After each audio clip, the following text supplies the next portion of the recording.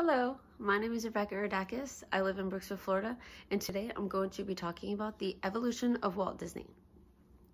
Walt was born December 5th, 1901 in Chicago, Illinois, and from a young age, Walt was always interested in drawing.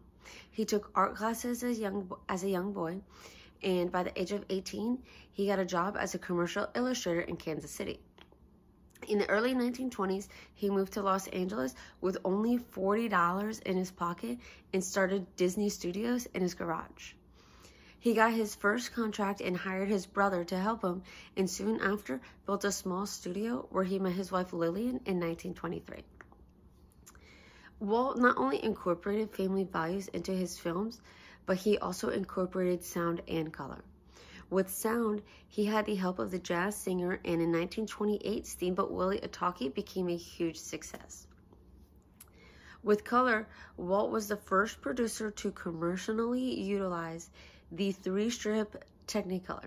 He won an Academy Award for his color in Flowers and Trees in 1932. In 1937, Snow White and the Seven Dwarfs was made, and this film was the first animated film and easily his masterpiece.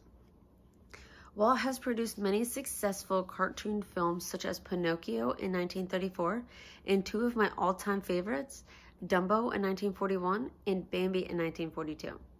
He didn't stop there though.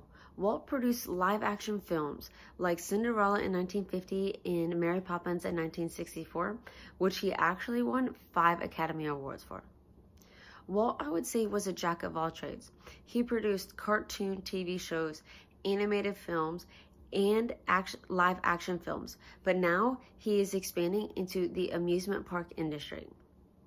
In 1955, he opened the very first Disneyland in California. And in 1965, he began to develop another theme park, Disney World. Sadly, Walt passed away at the age of 66 due to lung cancer from smoking heavily throughout his life. This didn't stop the openings of Disneyland around the world though. After his death, Disney Studios continued to produce successful films, television, television shows, and stage entertainment.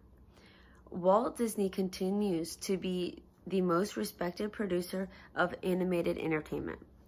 Walt has had a huge impact on children and families everywhere, especially myself, because I not only got to make the memories with my mom watching Disney movies and going to Disney World, but now I get to make these memories with my stepdaughter. These memories will last a lifetime, and I hope my stepdaughter will do the same when she gets older and she has kids.